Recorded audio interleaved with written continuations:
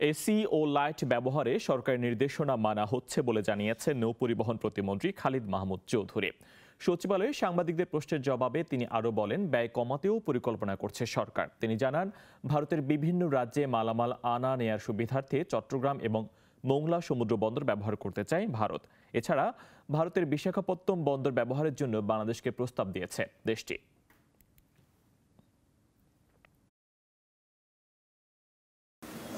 আমাদের এখানে যে এসিগুলো আছে সব চব্বিশের নিচে নাই। তারপরে আমরা বিদ্যুৎ কম ব্যবহার করতেছি। যেখানে দরকার সে ততটুকু ব্যবহার করতেছি। সারা পৃথিবী এখন এই সাশ্রয়ের ইয়ের দিকে গেছে। কারণ ইউক্রেন, রাশিয়ার কারণে তো আমি কয়েকদিন আগেই ইউরোপ থেকে ঘুরে আসলাম। সেখানে আমাদের দেশের থেকে চরম মন্দ অবস্থা।